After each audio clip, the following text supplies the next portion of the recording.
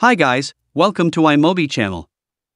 We're here to tackle a common and frustrating issue faced by content creators, gamers, and live streamers alike desktop audio not working in OBS.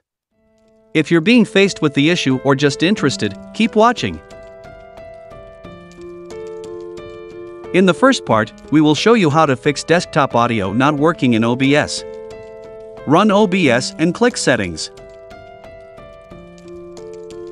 Find Audio.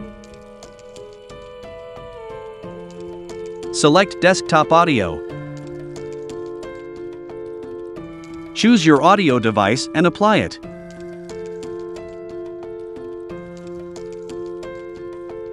Then, check and turn on your desktop volume if you don't do it.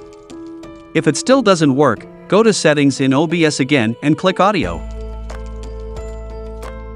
Find the Output option and select Advanced Output Mode. In the Recording option, choose an audio track and click Apply. In the second part, we will recommend a free tool for you. Gemoo Recorder is a 100% free yet powerful screen and video recording tool that enables you to record screen, webcam, and audio as easy as 1, 2, 3. You can record any screen, webcam, with audio, together or separately as you need.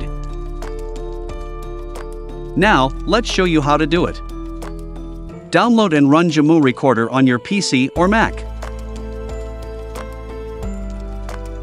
Choose screen only and click Start Recording. You also can choose other modes as you need.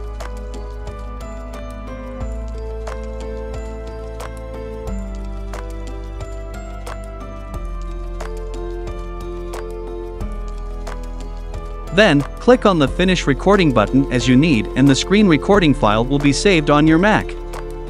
Please note, if you want to change the save path, click More icon and find the preference, and you can change the path here. That's all. Thanks for watching and don't forget to like, share and subscribe. See you in the next video.